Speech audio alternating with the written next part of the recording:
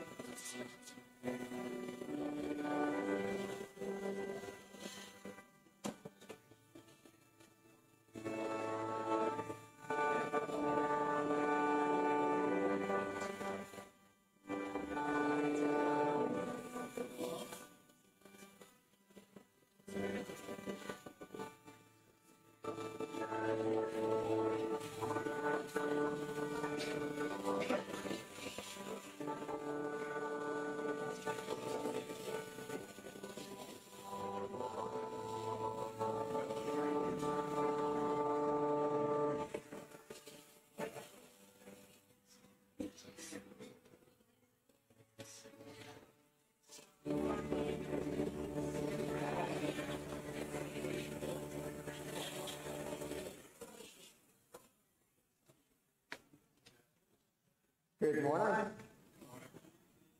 It's Wonderful to see you all this morning. You're very, very welcome indeed. Uh, I give you a very particular welcome if you're here as a visitor. Uh, it's really lovely to see you today, and you're very welcome indeed as we gather to worship God together. And should you be able to stay for a cup of tea afterwards in the main hall, you'll be every bit as welcome for that also. We really love the pleasure of your company. Uh, we do have uh, a couple of people who are here for the first time in a long time or for the first time at all.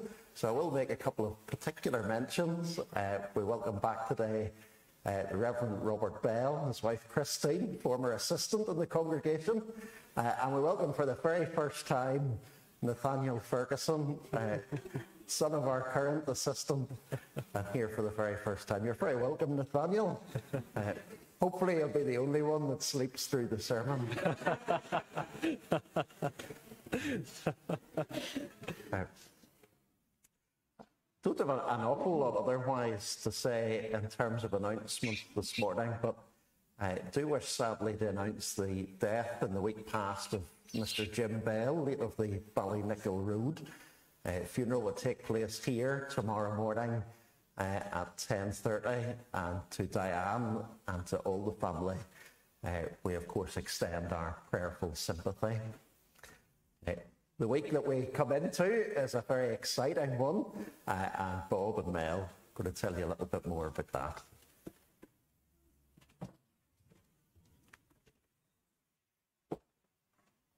Well, Bob, have you packed? Packed what? Your bag? A lot? Oh, uh, no, what for? Where are we going? Well, we've got a new job this week. Have we? Nobody told me. Bob, I did tell you. I told you we have to be the Rangers of Big Shine Wood this week. Oh, yeah, I forgot about that. But forgot to put it in my calendar. Well, you better get it in your calendar because it's happening every night this week. Every night? Every night this week, and you and I are going to be the Rangers in charge of Big Shine Wood. But I'm a wee bit worried Why? Because I think it's too big a job for just the two of us. Do we need to get some help? I think we might need some help. I don't think we could look after a whole woodland by ourselves. What do you think? Who could we get? Well, I was thinking maybe if we could get lots of P1s to P7s to come along to Oh, that us. would be good. P1s to be sevens, but what what sort of time would they need to come to help us? Well, if they came at a quarter to seven to half past eight every night, that would be brilliant, wouldn't it? That would be And then we could go on a bit of an adventure through the woods as well. Do you think we'll see any woodland creatures? Well, do you know what? I've actually heard that there might be a bear that lives in mm. these woods. Oh dear. So I think we might have to look out for that this week I'm a as bit well. scared of bears. Well, gotta tell you, I'm a bit scared of bears too. Oh dear. So we definitely need some people who are a bit braver than we are, don't we? Yeah, just in case we might see this bear when we're on our adventure. So we're going to go for a woodland wander. And if you're in P1 to P3, you can come along and you can be a happy hedgehog. Ooh. Doesn't that sound good? Sounds great. Really happy for the week. And if you're in P4 and 5, you could be a super squirrel. Which what sounds about very exciting. if you're in P6 or P7? And if you're in- Something fantastic would be Oh, good. absolutely. I think they could be fantastic foxes. That would be great. Wouldn't that be really good? I good? think I'd like to be in the Fantastic Foxes. Yeah. So I think, though, some people here might not be able to come along for our woodland adventure, but we would still like as many of these people to come as well. We've had lots of volunteers from last week, which was brilliant. Thank you very much for all those people that came forward. But what everybody here could do would be pray for us this week, couldn't they? It's always a good thing to do. because we're going to be going through the woods every night this week. We're going to have lots of leaders and helpers with us. We're going to be going on lots of adventures and learning lots and lots about Jesus. I have some very exciting storybooks packed in my bag here that we might have a look at this week. But we would love it if you could remember us in prayer this week and pray for us as we go on our woodland wander and have lots of fun every night. But also teach the children that come lots and lots about Jesus. So if you could remember us this week, that would be fantastic and super and happy, wouldn't it? Brilliant. So we're looking forward to it this week, and we're looking forward to seeing everybody who comes along. Thank you.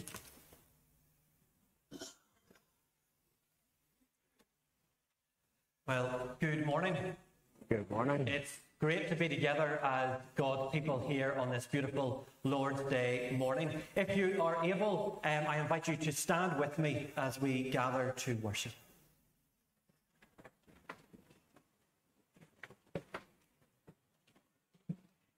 The psalmist says in Psalm 150 Praise the Lord, praise God in his sanctuary, praise him in his mighty heavens. Praise him for his mighty deeds, praise him according to his excellent greatness. Praise him with the trumpet sound, praise him with lute and harp, praise him with tambourine and dance, praise him with strings and pipe. Praise him with sounding cymbals. Praise him with loud clashing cymbals. Let everything that has breath praise the Lord. And so, as we gather to praise the Lord this morning, let's take a moment and pray together. Heavenly Father, as we gather here as your people, Lord, we are here to bring you praise. And so, Lord, as we come, Lord, help us to set aside the distractions of our mind and let us take a moment in this morning to focus our hearts and minds on you. And so, Lord, now as we praise you in singing, as we praise you with the sound of the organ, Lord, let everything that has breath praise your name. Amen.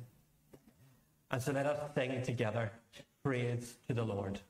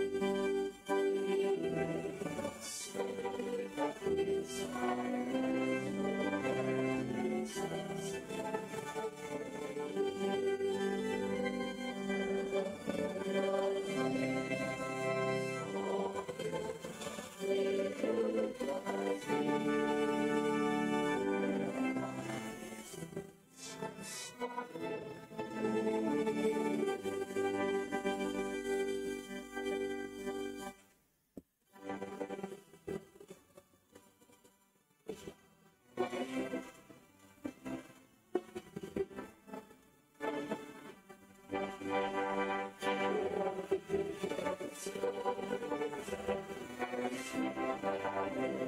you.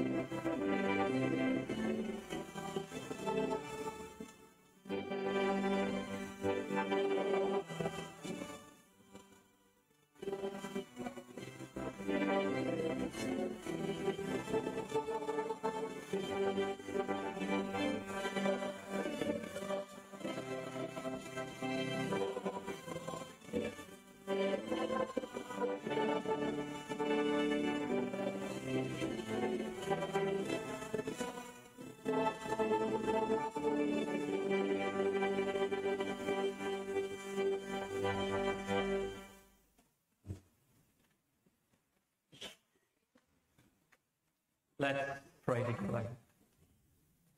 Praise God from whom all blessings flow. Praise him, all creatures here below. Praise him above you, heavenly host. Praise Father, Son, and Holy Ghost. Almighty God, three in one, Father, Son, and Holy Spirit, we indeed give you praise and adoration this morning. There is none like you in all the earth. You and you alone are holy. And Lord, we cannot even begin to comprehend your greatness and your goodness. And Lord, for all of the mighty works that we can see in your creation, for all of the many blessings that you have bestowed upon us, Lord, we give you thanks. Mm-hmm. And Lord, as we gather here this morning, Lord, we are all too aware of those times in this past hour, in this past day, and even in this past week where we have failed you. Lord, where we have sinned against you. But Lord, as we gather this morning, we are reminded of your great love. Lord, that great love that you demonstrated so clearly for us in sending your Son. Lord, you sent your Son and our Saviour to live a perfect life, to die in our place upon that cross. And through the shedding of Jesus' blood, we can come before you and be forgiven. Mm-hmm. And so, Lord, we thank you that when we come before you and we confess our sins, Lord, you are faithful and just to forgive us. And so, Lord, as we gather as your people, we are no longer condemned, no longer under the curse of sin, but rather through that new and living way that was opened up for us through the shedding of Christ's blood, Lord, we can come before your very throne of grace. And so, Lord, as we gather this morning, we gather around your throne to give you praise and honor. Mm-hmm. And Lord, you haven't just left us here, but rather as we look forward, we are thankful for the resurrection of Jesus that points to our resurrection in a time yet to come. Mm. Lord, when one day, Lord, we won't just gather in a building such as this, but Lord, we will gather before you face to face. And oh, what a day that will be, Lord, when we can sing praise and honour and worship to you as we gaze upon your beauty and your glory. And so, Lord, help us this morning, Lord, to focus our hearts and minds on you. Give us ears to hear, Lord, as your word is opened and taught. And Lord, that all be said and done here today be done for your glory. And may the name of Jesus be both exalted and honoured in this place. Yes. In Jesus' precious, beautiful, and holy name we pray. Amen. Amen. We are going to have our scripture reading just now. Um, Sophie Roundtree is going to come and read to us from the book of Acts, chapter 1, verses 1 to 11. In my former book, Theophilus, I wrote about all that Jesus began to do and to teach until the day he was taken up to heaven after giving instructions through the Holy Spirit to the apostles he had chosen after his suffering. He, pretend, he presented himself to them and gave many convincing proofs that he was alive. He appeared to them, them over a period of 40 days and spoke about the kingdom of God. On one occasion, while he was eating with them, he gave them this comment Do not leave Jerusalem, but wait for the gift my father promised, which you have heard me speak about. For John baptized with water, but in a few days you will be baptized with the Holy Spirit. Then they gathered around him and asked him, Lord, are you at this time going to restore the kingdom of Israel? He said to them, It is not for you to know the times or dates the Father has set by his own authority, but you will receive power when the Holy Spirit comes on. You and you will be my witness in Jerusalem and in all Judea and Samaria and the ends of the earth. After he said this is this he was taken up before their very eyes, and a cloud hid him from their sight. They were looking intently up into the sky as he was going when suddenly two men dressed in white stood beside them, men of Galilee. They said, Why do you stand here looking into the sky? The same Jesus who has been taken from you into heaven will come back in the same way you have seen him go into heaven.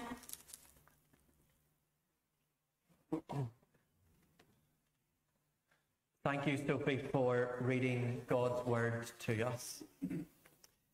The Apostle Paul encourages us um, as we bring our offerings not to bring them reluctantly, not to bring them under compulsion, but rather God loves a cheerful giver. And so now, as we bring our offering, let us do that in an act um, of worship.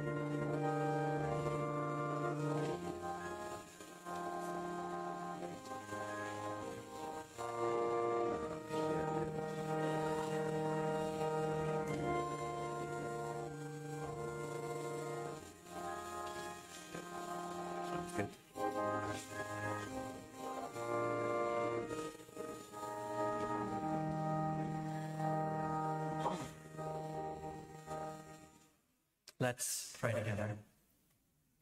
Heavenly Father, we thank you for the resources that you have blessed us with. And Lord, as we give to you of our time, as we give to you of our money, and as we serve you with the talents and gifts that you have given us, Lord, we pray that you would use all of these things for your glory. Lord, to advance your kingdom both here in Second Comber and beyond. Lord, we pray that you would do a great gospel work here. In Jesus' name. Amen.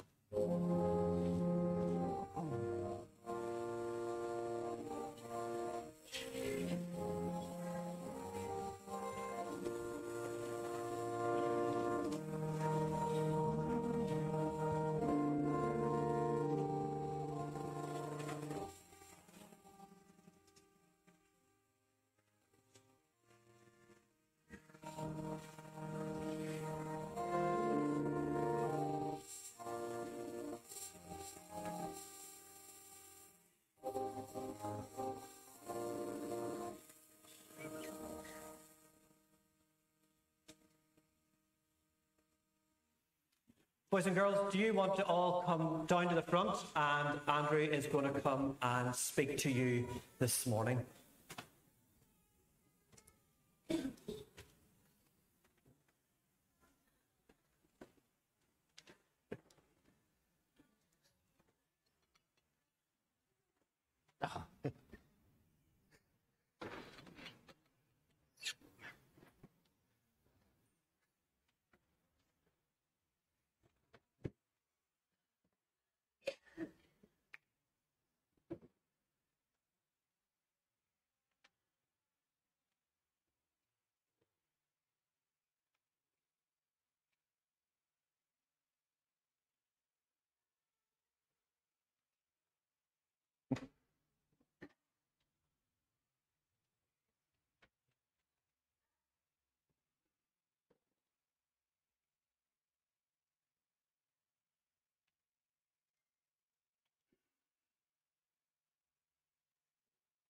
That's wonderful.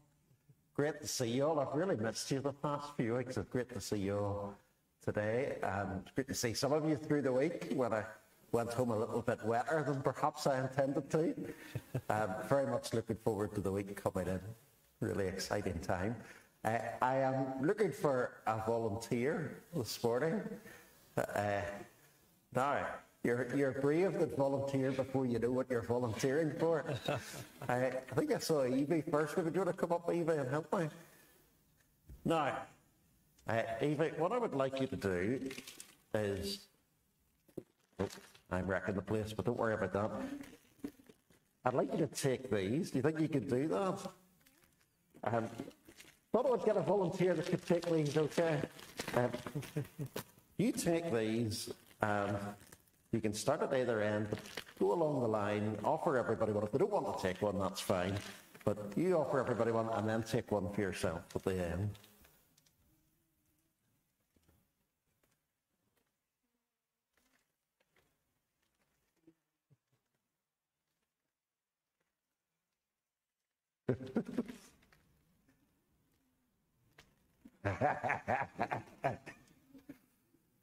Some of them will be gone before you reach the end of the line, I think.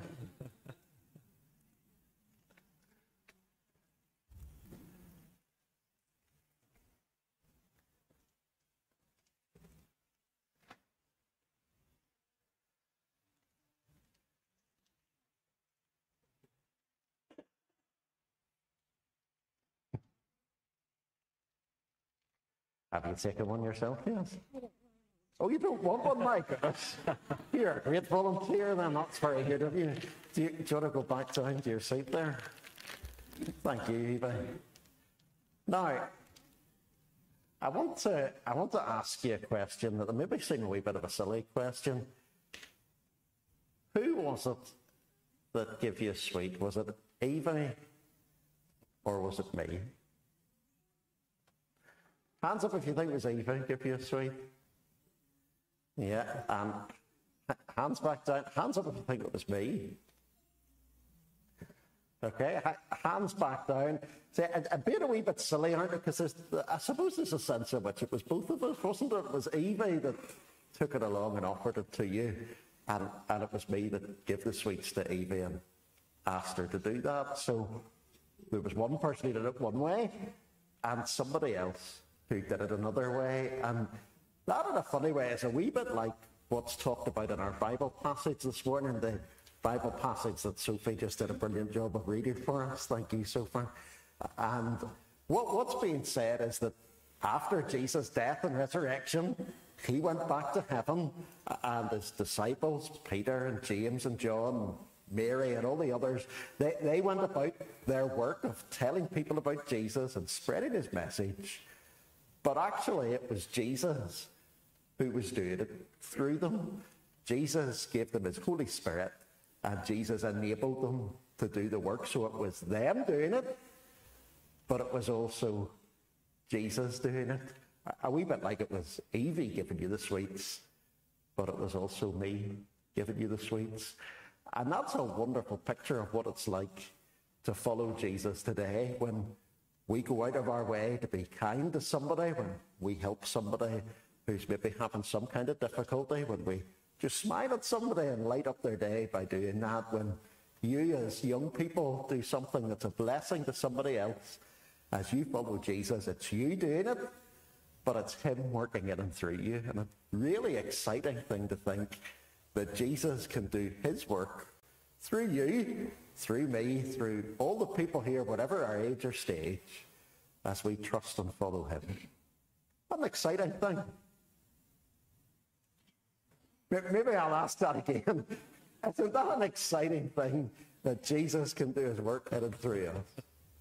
Brilliant. Thank you all so much. We're going to stand and sing together. It's an adventure following Jesus.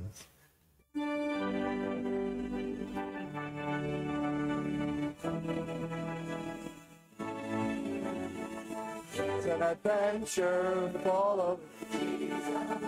It's an adventure.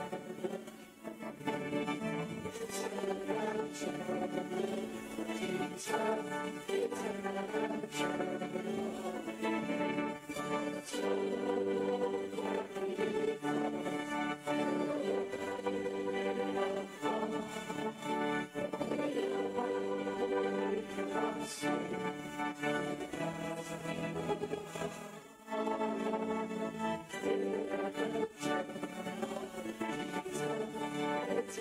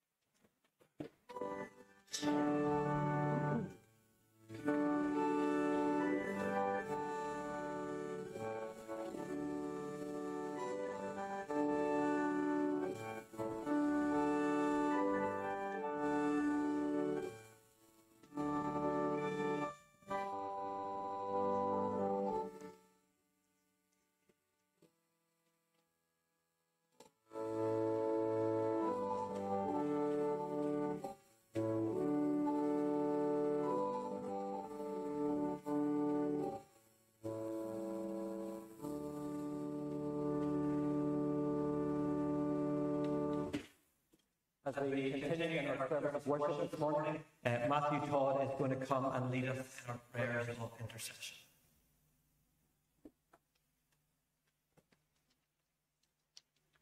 Let us pray.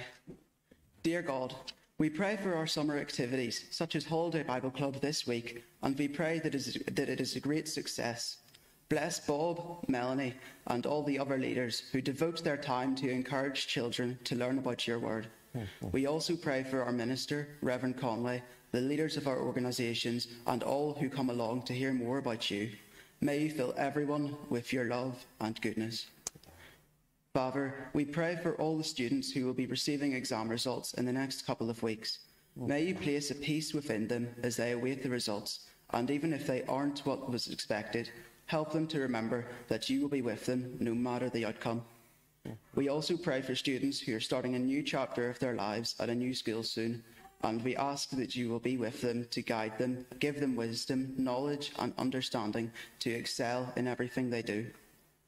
Father, we thank you for the amazing weather that we are having now, but we pray that you keep those who are vulnerable safe and be with those who must work through the heat.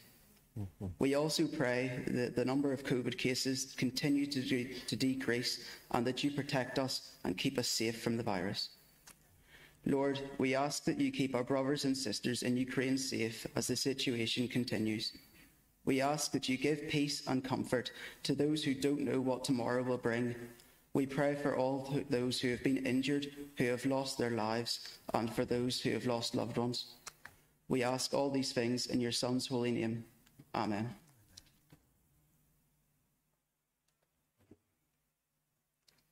Thank you, Matthew, for leading us in prayer. Just before Andrew comes to speak to us from God's word, let us stand together and prayerfully sing, Speak, O Lord.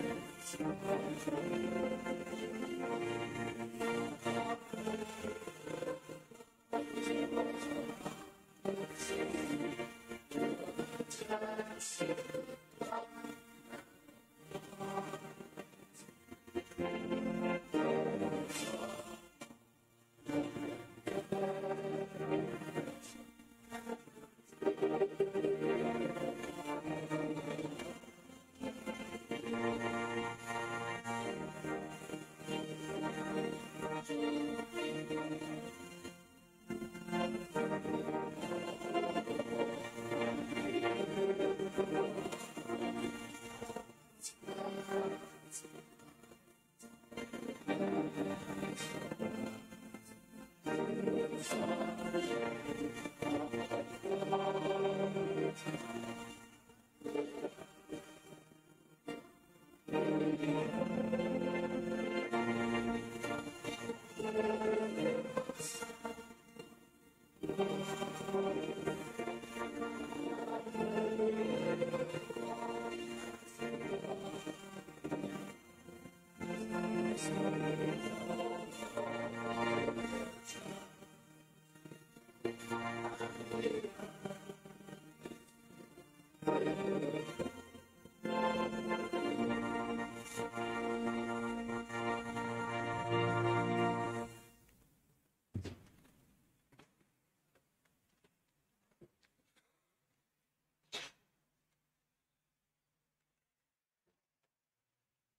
Jesus Christ is building his kingdom this moment, at this time, in these days. He's doing it right now uh, across the world, on this island, in this nation, in places that we may perhaps have visited on holiday, and in places that we have never ever, and perhaps never ever will, hear of. He's building his kingdom in these very days. It's not just something that he's done in the past, nor is it just something that he will do in the future. There are those dimensions to it, to be sure. But this very moment, right now, as we speak in the world of this day, Jesus Christ is building his kingdom. I think it's probably fair to say that within our Presbyterian Church in Ireland, we are reasonably good at having a grip on the fact that God has done mighty things in the past. Presbyterians are pretty well familiar with what God did in the days of Noah, or Joseph, or Daniel, or David, or Moses, or Elijah, or Ruth, or Esther, or a lot of other individuals. And thank God we're particularly familiar with what he did in the life, death, and resurrection of Jesus Christ, his beloved Son, God in human flesh, the mighty deeds of God in the past. Hope we have a good grip on those things, and we could never have too good a grip uh, may God indeed give us grace to strengthen our grip on such things in our hearts and souls. They're at the very centre of our faith. They're the greatest of all realities. They're the firm foundation upon which to build your life and all that matters within it. But for all that, we dare not imagine that Jesus Christ is confined to the past. We need to be in no doubt to be abundantly and fully persuaded that Jesus Christ is as active today as he ever was. Uh, he may not be physically walking about in a place where you can go and see him eye to eye, but he's as active now as he was when he calmed the storm or fed the 5,000 or died on the cross and rose again. Jesus Christ is building his kingdom today. Let's look then at the verses that Sophie read for us from Acts chapter 1. Uh, it becomes clear, doesn't it, really, straight away, as soon as you read these verses, that they are essentially picking up where the four Gospels have left off. Uh, and as in the conclusion of the four Gospels, you get this emphasis on the disciples going out in Jesus' name and telling people about him and spreading its message. So, here at the very beginning of the book of Acts, you get a very definite emphasis on what we might call mission uh, the building of Christ's kingdom in the world, the spreading of his message, the way in which more and more people come to hear of his love and surrender their lives to him and know his grace and mercy. A missional thrust is apparent in the book of Acts, really, from the get go. Uh, we're told in verses 2 and 3 uh, that until the day was taken up in heaven, Jesus, through the Holy Spirit, gave instructions to the apostles he had chosen. Uh, and this took place indeed over a period of 40 days. Well, I think we can rightly infer from that that they were told very many important things in that period, uh, that various lessons were pressed home upon their hearts and minds with great love and compassion, uh, that things that we find recorded in Matthew, Mark, Luke, and John, uh, things indeed that would later be written in the epistles, were spoken very clearly and repeatedly by the Master to his disciples in a way that really drilled down into their hearts and took deep root. Presumably, he talked to them about all manner of things in those 40 days of resurrection appearances. But the things that Luke makes a particular point of recording here in Acts chapter 1 are particularly to do with spreading the gospel all around the world. Uh, so, verse 4 into verse 5, Jesus tells them, Do not leave Jerusalem Wait for the gift which my Father promised, which you've heard me speak about. John baptized with water. In a few days, you will be baptized with the Holy Spirit, and the Holy Spirit will enable you to go out and carry on the mission that I've entrusted to you. Then, famously, verse 8 You'll receive power when the Holy Spirit comes on you. You'll be my witnesses in Jerusalem and in all Judea and Samaria and to the ends of the earth. Uh, among all those things that Jesus surely talked about in those 40 days, here are the ones that Luke particularly singles it on the gift of the Spirit and the subsequent mission of the church to all the world, the spreading of the gospel anywhere and everywhere to anyone and everyone.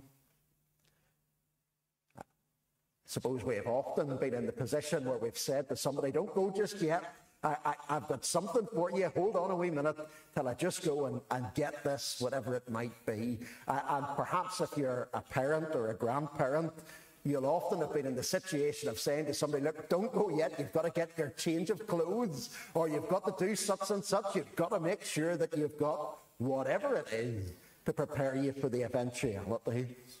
Uh, and in a kind of similar way, in verses 4 and 5, we find Jesus saying, Look, you'll be enthused to go about this glorious task that I've entrusted to you, but don't do it yet until you're given what you need, namely the outpouring of the Holy Spirit to equip you for the task. And when the Spirit comes, well, then you'll be my witnesses right where you are, and in the area beyond that, and the area beyond that too and right until there are no more areas to go into. They would begin where they were the city of Jerusalem, the place where their Lord had been crucified and rose again. And there, as later recorded in chapter 2, they would preach the good news. That centre of Judaism, they would then move out into all Judea. But perhaps more strikingly to their ears, they would also move out into Samaria. People in a Northern Irish context are perhaps particularly well able to understand what that means. Uh, to go from Judea to Samaria, it's a bit like going from the Shankill to the Falls. Not far, perhaps, in a geographical sense, but pretty far culturally. Uh, going to people with whom you would have much common ground, a great deal in common, but a people too where historically there was long standing division, distrust, and even outright bigotry and hatred. To go to the Samaritans, well, that would have been quite a thing for any first century Jew. Nor were they to end there. To the very ends of the earth, they would go in the Spirit's power, proclaiming the good news of Jesus. And they might have thought, well, at least with the Samaritans, they kind of know where you're coming from. They've got some similar background. They've got some basic idea. You go out to the ends of the earth, and the, the people they've never heard of Moses. They don't know a thing about David. They haven't a clue who Joseph is. Where do you begin? Well, here's this very great missional thrust early in the book of Acts. By the Spirit's power, the people of God will go out to everybody with the good news of Jesus. There are at least a couple of indications in the text, aren't they, that they ought not to let anything get in the way of this central calling. Uh, they ought not, for one thing, to speculate about things that are outside their area of authority. They ought just to get on with what the Master calls them to do. Uh, verse 6 finds the apostles asking what was surely a very natural and, in some respects, a very proper question uh, Lord, are you at this time going to restore Israel? Uh, uh, in other words, Lord, we have long expected a Messiah who's going to put the Romans back in their box who's going to give us the land that was promised to Abraham, who's going to free us from the oppressor and let us do our own thing in our own country to the glory of God. Is now the time, Lord? Well, it was natural that any Jewish man, indeed a Jewish man who has realized that this really is the Messiah, would want to know that. Jesus refuses to tell them anything about it. It's not for you to know the times or dates the Father has set by his own authority. Rather, you will receive power and you will be my witnesses. In other words, don't get yourself wrapped up in what isn't within your realm of authority. Just get on with what the Master calls you to. There's something similar at the conclusion of the passage, isn't there? They were looking up intently into the sky as he was going, verse 10, when suddenly two men dressed in white stood beside them. Men of Galilee, they said, why do you stand here staring into the sky? Presumably, the men dressed in white were angelic messengers, and you can't help but think that their question's a little bit unfair. How often do you see somebody just raised up into the sky? Uh, how frequently are you in those circumstances where the very Son of God, who has died and rose again, is standing before you one moment and the next minute he's just ascending. Would anybody be standing there looking up? Wouldn't they? And in a sense, of course, it's perfectly right and proper to do so. Uh, but the angels, no doubt, with real compassion and kindness from on high, gently remind them listen, you aren't meant to just stand there staring forever. Get on with what the Master told you. So both the call to mission and the urgency of it are very clear in these opening verses of the book of Acts. That's immensely important. But the danger is that we might find ourselves thinking, well, this book then is about the church, what the church did after Jesus was out of the picture. He had died and rose again, and then he disappeared off into glory, and that, you know, that, that's sort of him gone. He, he's on the beach, he's in the deck chair, he's relaxing in the garden, uh, and now this is what Peter and John and the rest of them are going to get up to now that Christ has left the scene and it's up to them themselves. I doubt anybody would openly state it like that, but it's quite easy to sort of picture it that way. Luke, however, from the very beginning of the book, wants us to be completely clear that that is not the reality of it. Jesus may well have wondrously ascended back into heaven, but Jesus is active in his world right now. How does Luke make that clear?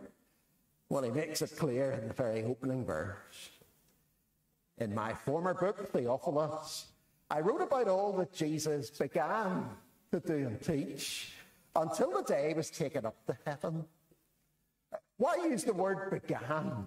Well, Luke is saying that's my gospel, Theophilus. The gospel of Luke, as you know it today, it was about what Jesus began to do until he went to heaven. And this book, Theophilus, is about what Jesus has been doing since he went to heaven. I told you before what he began to do and teach. Let me now tell you what he's been doing and teaching since he returned to his Father's right hand side. Don't imagine, Theophilus, that he's out of the picture. Don't imagine for a moment that he's retired or on vacation. See that he's active today. He began to do and teach then. He's doing and teaching now. Uh, not through his own physical body and his own lips, but through his body, which is the church, through the work and ministry of ordinary people like Peter and Martha and all the rest of them, as they live in the Spirit's power and as they bear witness thus to his glorious holy name and his great redeeming love. Luke does not in these verses paint for us a picture of a Saviour who has disappeared off the scene. He points us rather to a Saviour who is active in his world through his church. Christ is building his kingdom.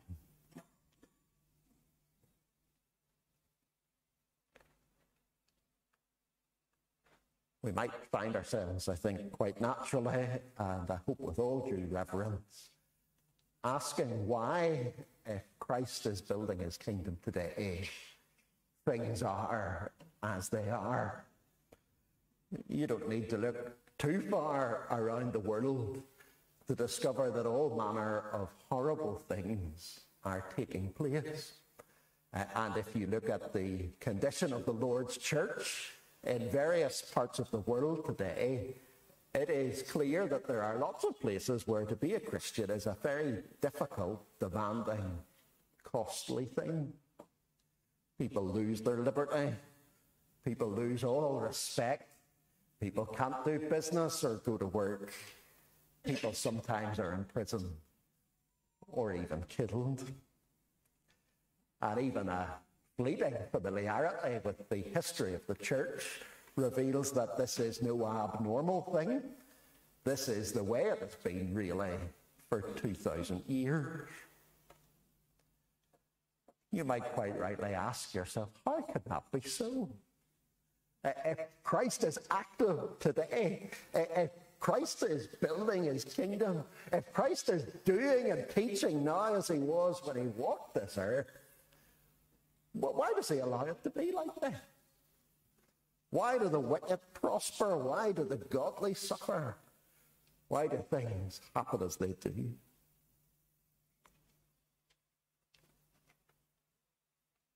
Yet when you think about it, the same mystery is there in his own earthly life, is it not? Why was God's Son born in a stable? Why choose to be born surrounded by animals? rather than midwives? Why be able to truly say that you don't have a hole, uh, that foxes have holes and birds of the air have nests, but you've nowhere to lay your head? Why die on a cross? What an extraordinary way for an all powerful man to conduct himself. We may well wonder why, when he reigns over all things today to build his kingdom, he allows that to proceed in the way that it does. But the same astounding mystery is in his own life, death, and resurrection. And they proclaim to us loudly and clearly that he can be trusted. His ways may be mysterious, but his heart is dependable. Christ is building his kingdom. Since Christ is building his kingdom today, then today Christ is available to you and to me. It may well be that behind even a smiling facade, you and I nurse considerable burdens, that we've guilt and shame that refuses to go away, that we've worries and anxieties that beset us and eat us up and consume us from the inside out. That we've all manner of problems that even our nearest and dearest mightn't begin to guess at. Well, the Saviour who could raise the dead, who could heal the sick, who could calm the sea, who could feed the hungry, who could speak words of peace to the troubled and the anxious, who could correct and challenge in such a heart searching way, of course. He's as active today as he was then. You don't need to travel to Galilee to see him. You don't need, like Zacchaeus, to climb a tree in hope of catching a glimpse of him. He offers himself freely by his Spirit in every part of the world to everyone and anyone who will willingly call on him. Jesus is available to you and I today. It's available to all those around us. As we look out on society and the wider world, we surely see people in all manner of need those who are ill, those who are depressed, those who are deeply anxious, those who are consumed by the things of this world and have no thought as to where they will be when they breathe their last. We look out and we're concerned. But as we look out, let's look up. Eh, there is a Saviour active today, able to deal with one and all wisely, lovingly, graciously, and mercifully. He offers himself freely. We look around and we see people in need. Let's look up and see a Saviour who can always meet that need. And let's resolve then by his Spirit's power to be the witnesses for him he calls us to be. That is ultimately an immensely exciting thing. It's a bit like children taking part with a grown up in some activity that they just delight to do because it's what the grown up's doing.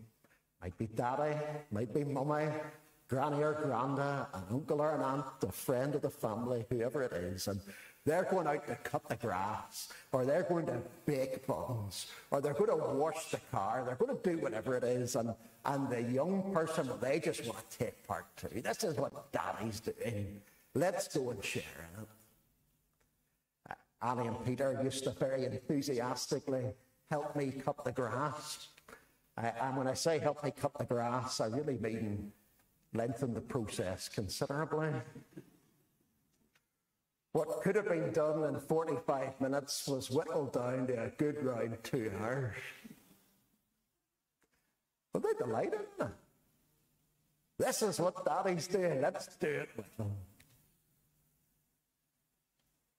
That's the outlook of those who are committed to the mission of the Christian church, isn't it? Jesus doesn't need you or me to reach his world any more than he needs us to help him keep the sun warm or the moon orbiting around the earth. Jesus is more than capable of doing it himself. But Jesus wants us to have a part in it. Uh, Jesus calls us, seeing that he is doing and teaching today, that he is building his kingdom, to play our part in that as we're filled by the Spirit and we give ourselves to his wondrous calling. What an exciting thing. What an exciting week lies before us here in Second Comber. What an exciting future lies ahead of the Church of Jesus Christ, not only for a week, nor a month, nor a year, but till the Lord comes, and then forever and ever, world without end. Christ is building his kingdom.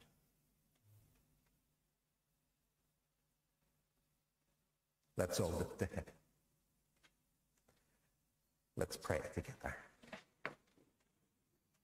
Uh, Lord Jesus, it is an exciting thing indeed that you're building your kingdom. You're active today, no less so than you were in the days recorded for us in the New Testament. Uh, Lord Jesus, we do often wonder why you allow things to develop as they do. Give us grace to see that your heart is trustworthy. Enable us to marvel at the mystery of your sacrifice on the cross and to see all things in that light. Show us that you're available to us today in the way that we most need you. Show us too that you're available to others. And so when we find ourselves feeling sorry for people all around us, remind us that you're available to them. Excite our hearts, Lord, about the wondrous privilege of sharing in Christian mission for your building your kingdom. It's for Jesus' sake we ask these things. Amen. Jesus is the name we honor. We'll stand and sing together.